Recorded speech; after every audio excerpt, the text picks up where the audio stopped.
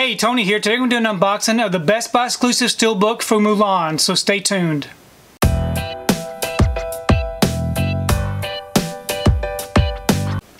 So today I picked up a copy of Mulan. This is a Best Buy exclusive steelbook featuring the 4K Ultra HD, the Blu-ray, and the digital.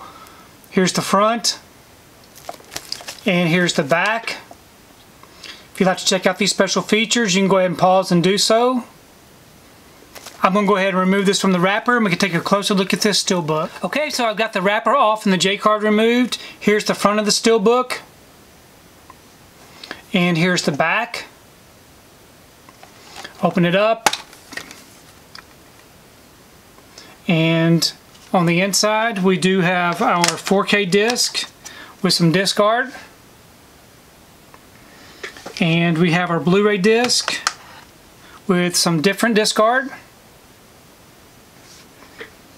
And we do have a nice interior scene. So overall, I really like this steelbook. I think it looks really nice. So I've gone ahead and I've placed the steelbook inside this protective bag. Now this bag will help keep this steelbook from getting scuffed up on the shelf up against the other steelbooks. I do have a link below if you'd like to check out where I purchased these bags off of Amazon. Um, overall, I'm really pleased with this steelbook. I do think it looks really nice.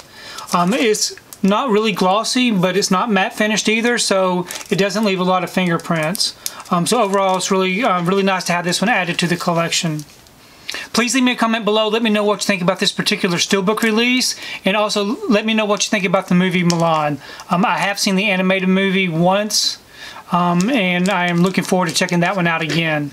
If you like what you saw here today, please give it a thumbs up and share the video. If you haven't subscribed to my channel, I really appreciate it if you would subscribe. If you do subscribe, please remember to hit that notification bell so that you can be notified every time I upload a new video. If you haven't found me on my social media accounts, I'm on Facebook, Twitter, and on Instagram. And if you would like to check out what I've been watching, you can find me over on Letterboxd. I do have links below. But thanks again for watching, and we will see you next time.